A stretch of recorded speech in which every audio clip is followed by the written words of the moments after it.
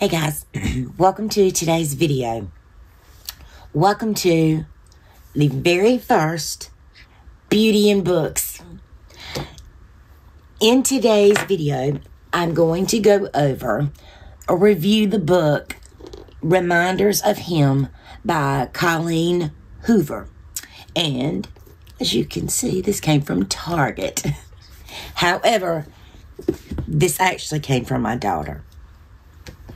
So, while I talk a little bit about this book, I'm going to use this palette right here. Y'all know I'm not a huge fan of Morphe, but th- this is their latest collaboration with Jaclyn Hill. This is, it's called the Divine Neutrals palette, and that's what it looks like.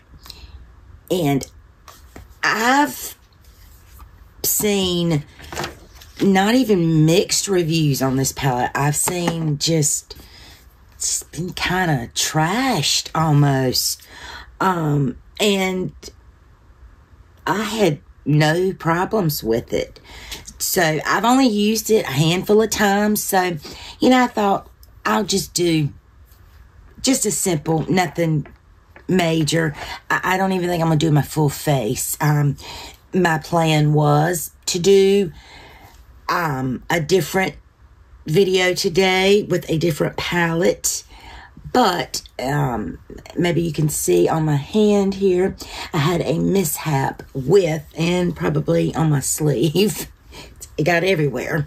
I had a mishap with my one of my Z palettes. I was going to go over some singles, and unfortunately, one of the um, pigments fell out of the actual little pan and it got everywhere. So I was literally getting ready to hit record when I saw it. So I was like, oh man. So I had to clean that up. So I've got pigment probably everywhere. So if you see some random spots of color shifting shadows, just pay no mind. now, I did prime my eyes with, I just used the um, Essence Camouflage. I'm going to take a little bit of my Bye Bye Pores pressed powder from It Cosmetics and set that concealer down.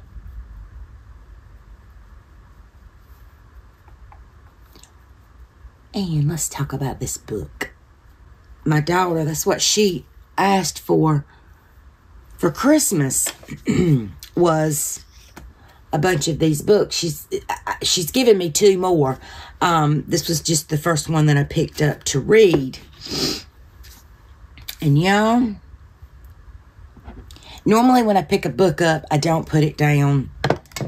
However, now that I have grandchildren and, you know, adulting, I can't read a book all the way to the end unless I start first thing in the morning and, you know, and I'm done by five.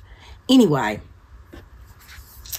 I am going to go in and basically just use a bunch of these colors. I, want the focus to be on the book, not necessarily the palette. So, anyway, the I will read you the back. So, the name of the book is Reminders of Him. Okay. It says, a young mother fights to earn a place in her child's life. But is there room for her? After serving five years in prison for a tragic mistake, Kenna Rowan returns to the town where it all went wrong, hoping to reunite with her four year old daughter.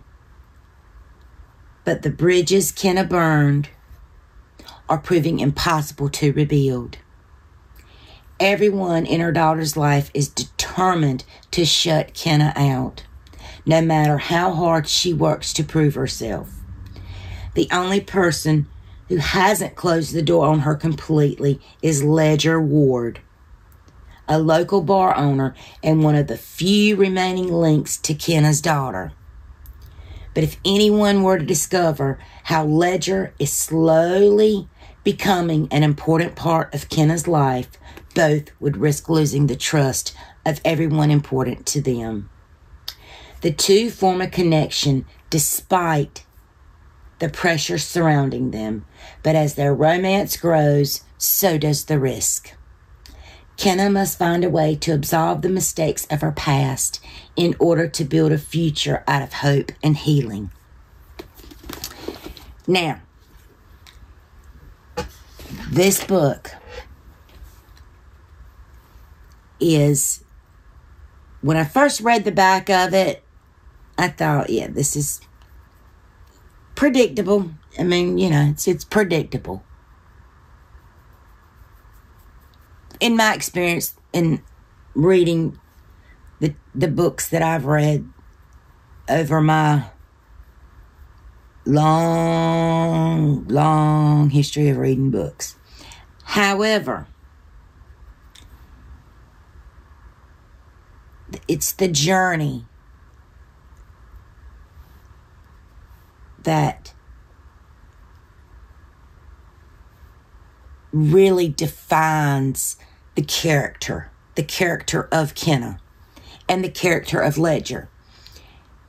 It's a story that while there aren't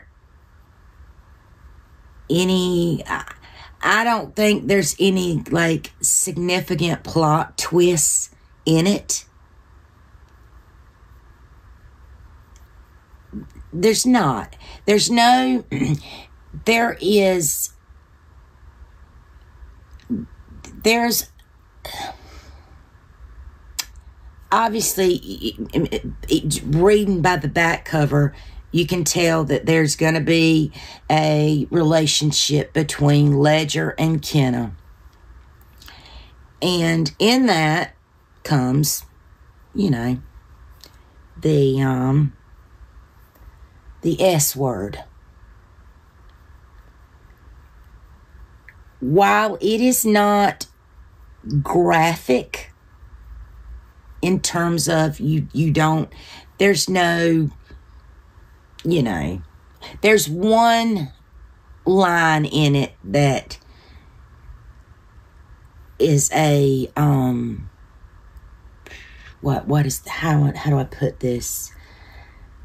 There there's one sentence in there that talks about a S act.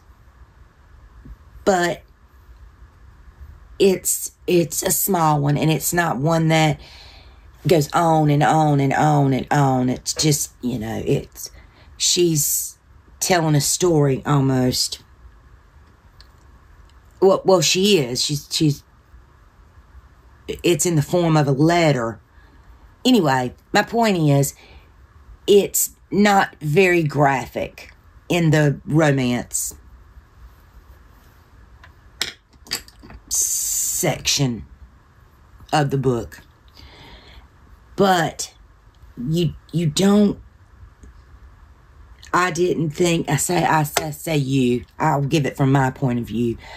I did not think that I would find myself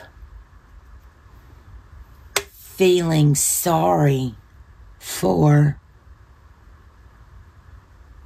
the characters. But I could see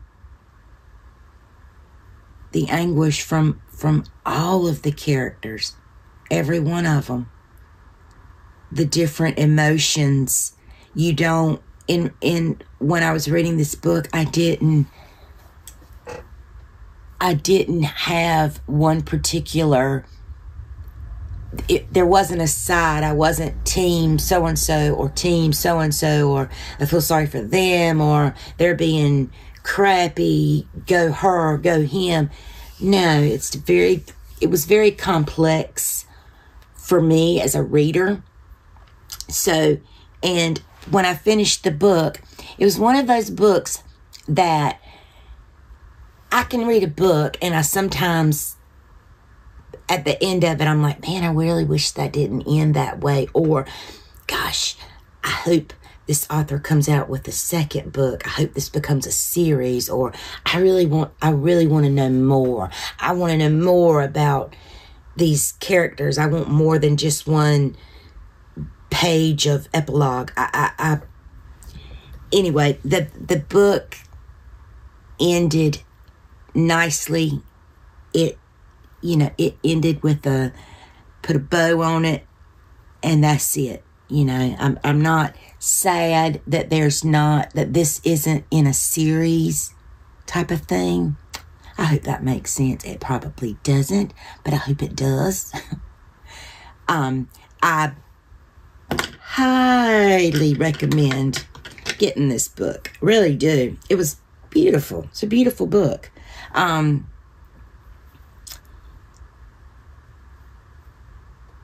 especially a redemption. It's definitely worth reading if you're into redemption stories. Um,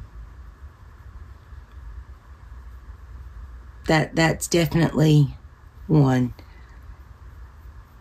It, gives the the there's it gives the chapters are from the Kenna Kenna's point of view, and then the, they kind of go back and forth. It's Kenna, and then it's Ledger, and then it's Kenna, and then it's Ledger throughout the whole book.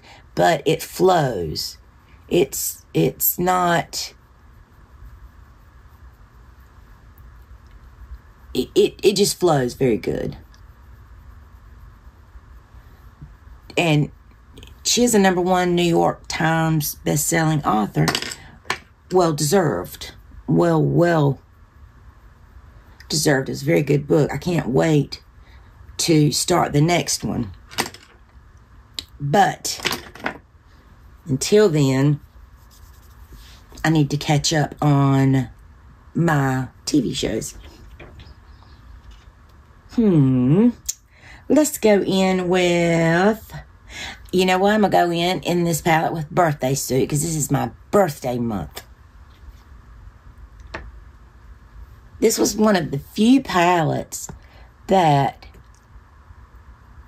I did not have to wet my brush to get the color payoff or even use my finger. I mean, this is a dry brush no finger. And I don't know if you can see that, but I will wet my brush just so you can. These they are powdery, not too too terribly bad. They are powdery. Not that this is a review, but I just felt like everyone was kind of crapping on this palette, and I thought it was pretty. And think that kind of some of the general consensus of this palette was that you could only do a smoky eye. And, you know, that may be. There are some lighter colors in here. It's a really pretty light shimmer shade. Probably should have used that just so I could drive my point home, but I digress. But you know what? I will put it. It's that shade, well, I'll swatch it right there. It's really pretty. Got all that on this side. Oh.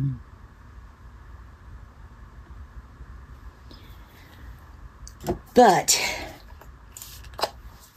I did not take any notes, which I probably should have written notes down so I could not be so scatterbrained when I'm going over these reviews, but you know, this is new to me. This is a new concept. This may not be something you guys even want to see. If it's not, let me know. I'm not going to completely quit doing it because I enjoy it, but maybe I won't make it so much so much as I had planned, you know. maybe do one a week versus trying to do the movie shows and a book, you know. So just let me know, guys. That, that's all I ask. Let me go. I promise I'm not gonna get mad if this isn't what you guys want to see. I promise. I promise. Just gonna deepen that just a little bit more. Just a touch. Yeah, the consensus from from most people that I've seen was this palette was patchy. The colors payoff wasn't good. And I was like, y'all must have got a dud because this palette performs beautifully for me. It's one of my favorites. It is probably my second favorite Morphe palette, the first being the first Jaclyn Hill. Um, and I'm not a Jaclyn Hill stan or any of that. I didn't watch her when she was younger, any of that. I mean, you know, of course, I, I do watch some of her content, but not not that much. But her first palette, excellent. I mean, I've hit pounds several, several, several shades. Um, I, I do enjoy that, but this one is is second. Um, I, I would dare give this the second favorite Morphe palette, even though it's pretty pretty basic. It's basic for me, and that's I don't have to give a lot of thought when I open this palette. You know, it's 12 shades, but it's not something that I have to go, well, will this blend out with that? Will this work with that? They all work together. I mean, the name is Divine Neutrals. That's the name of it. You know, it's not meant to be, I give it a lot of thought palette, so to speak. Anyway, guys. Okay, that's it. That's it for the makeup. That is it for my review of the book. Oh, I did want to read one line in the book because it there's a there's typically a line in books that stick with me. And this happens to be is it the last line? No, it's not. It's towards the end of the book, but it gives nothing away. Um, but I, I want to read it because it, it really, really spoke to me. But it says, maybe it doesn't matter whether something is a coincidence or a sign. Maybe the best way to cope with the loss of the people we love is to find them in as many places and things as we possibly can. And in the off chance that the people we lose are still somehow able to hear us, maybe we should never stop talking to them. And when I read that line, I just, it just really, oh, um, I'm not to tear it now. It just was like an aha moment for me, you know, because I, I, I fully believe that, you know, I really do. I always, that, that line to me sums up my love of cardinals. And when I see that cardinal or, you know, I, I have a cardinal tattoo for a, for a reason. Um, anyway, so that's the line out of that book. I'm not to go get all sentimental, I promise. guys, thank you so much for sticking with me if you stuck by this long. Um, I promise the next ones won't be so all over the place, or I'm to try to promise. Anyway, guys, thank you for watching. I'll see you in the next video. Bye, guys.